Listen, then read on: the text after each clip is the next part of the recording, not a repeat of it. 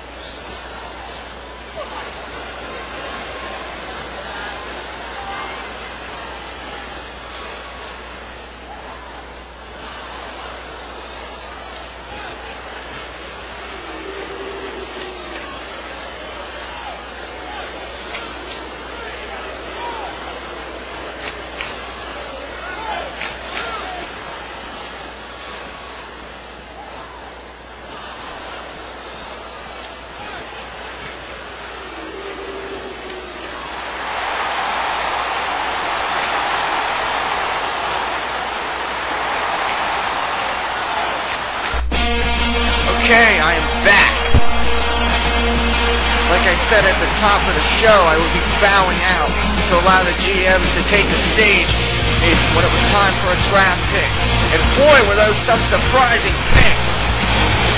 The AK, a, the AK's first pick turned out to be Big D. And the Babes in Business, their counterattack was Christopher Helmsley. Then the AK, the AK, the 8K second pick. Not surprisingly is this guy, Ruby, the scam artist. And in all honesty, well, the, I don't know what the babes in business were thinking with their next draft pick, MT Wallet. I don't, I don't know anyone who'd want to draft him. But anyway, yeah, we just saw Ruby in the back talking to, to the ass cracker. And I'll tell you what, Ruby said they would be great together. Oh yes, they really would be great together, if you know what I'm saying. but seriously, Ruby's out here. And of course, he's brought along his ego with him. And, and he'll be bringing along that ego to the Overdrive show because he's the number two draft pick for it. And anyway, Scooby's out here, and he's about to engage into some singles action. Let me just try to get my head together here for a second. Those first couple of draft picks were huge, ginormous. I can only imagine what the rest of the night has in store. Here comes Big Mike.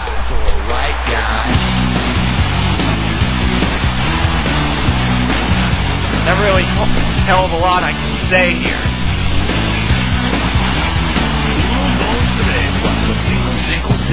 You know it's kind of hard to get today. Our subject isn't cool, but he thinks it anyway.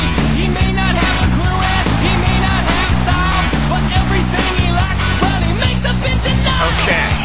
Hey, Big Mike, he's all just about set to go here. Of course, Ruby's probably being an impatient, little wuss. He's like, come on, just jump. No, I'm the greatest. I don't have to wait around for you fat asses.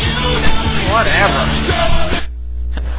Anyway, hey, this thing is underway and Big Mike already throwing those right hands. Whoa! Oh, arm drag out of nowhere. Nice agility by the big guy. Hey, and Juvy was just oh! He was get, he was getting thrown around like ring around the rosy, but then came to a crashing halt. Oh, and Big Mike, whoa! Look at the power of this guy! Hey, he just threw Juvy over the top rope like a sock puppet. And now Big Mike's got a steel chair. Ah! Uh-oh.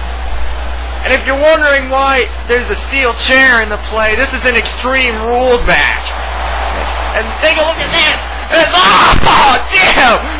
Oh, right into the guitar! Uh, one of the fans just held out a guitar and Juvy just got sent right into it, courtesy of Big Mike. Big Mike just played a tune on the on the skull of the scam artist, and that's music to my ears. Here's well done, Big Mike. Hey, talk about music. He's gonna be using the steel stairs as a drum, um, with Juvy's head as the stick. Ah. Then again, maybe that's just a conga drum. I discussed that possibility last week. And now he's got, ah, chair over the head. Nothing like the sweet sound of steel in the evening. Big Mike now. Oh, ah! Oh, I think he just or something. Or that might have been water or something. It was hard to tell. Oh, but anyway, it, hey, it threw, it's thrown Juvy completely off, and Big Mike, hey, this big man's been completely dominant since this thing started. Whoa! And down goes the scam artist. I mean, Big Mike, he's not playing around, and the fans just handed him something right there. Or what was it?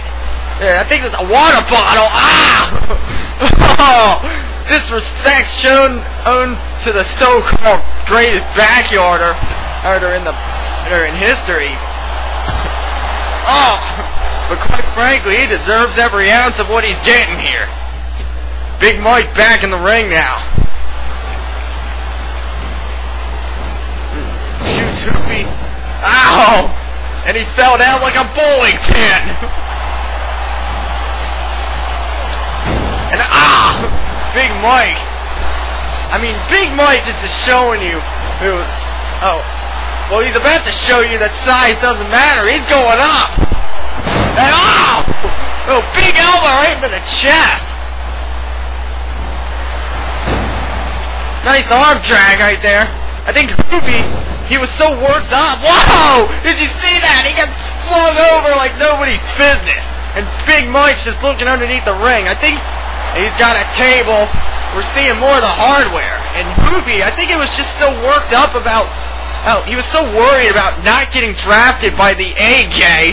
He was so worried that he might get drafted by the babes in business that it's really messed with his equilibrium him all throughout the match. But look at this. He's got the big man up. Oh, he's got him up. Um, and... And... Ah! Ah! Damn! Front suplex through the table. But here's the deal. Juvy needs to